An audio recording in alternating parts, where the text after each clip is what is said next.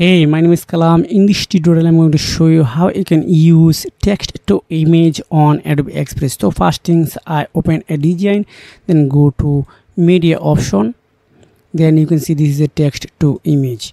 So just portrait, I select this one. Then here are type um, five dogs running on road. So just click on enter then you are able to uh, type content type art graphics photo. So i will select photo. Here the lots of things you are able to use. Wow. This is a method you can generate any photo here this is a 5 1 2 3 4 5 wow.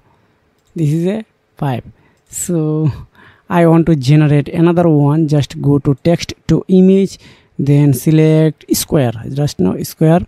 Then here type a girl going to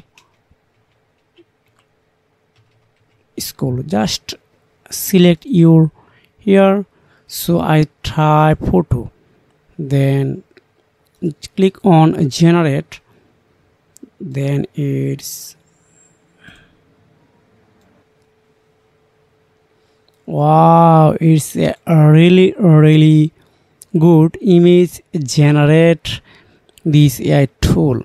So if you have found this video helpful for you make sure like and subscribe this channel. See you again take care. Goodbye